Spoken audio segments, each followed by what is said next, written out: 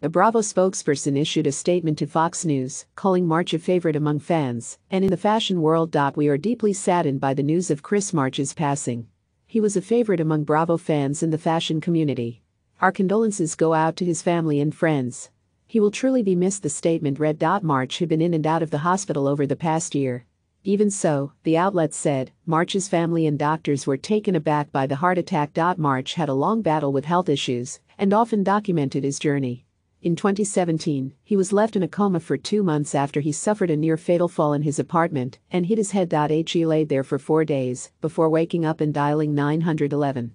Paramedics took him to the hospital, where he was placed into an induced coma and suffered a collapsed lung and organ failure, according to the gossip site. A GoFund page was created on the designer's behalf to cover his mounting financial and medical bills.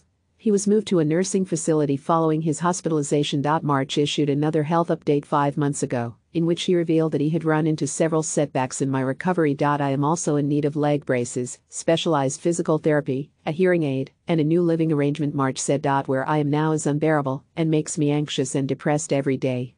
I have considered suicide many times.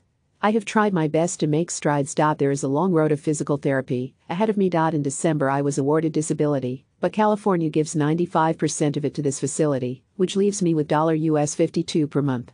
In the face of all my setbacks, I try to remain positive the leg braces are an exciting new tool on my road to recovery.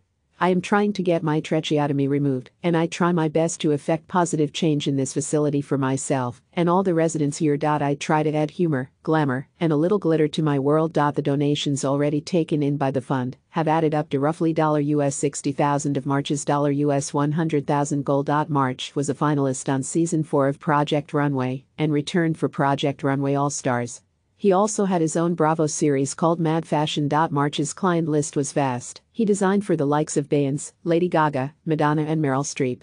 He also made costumes for Cirque du Soleil and a number of Broadway productions. TV host Andy Cohen would pay tribute to March with an image of him and the designer enjoying a laugh on Watch What Happens Live with Andy Cohen. Reps for March did not immediately respond to a request for comment. This article originally appeared on Fox News and is republished here with permission.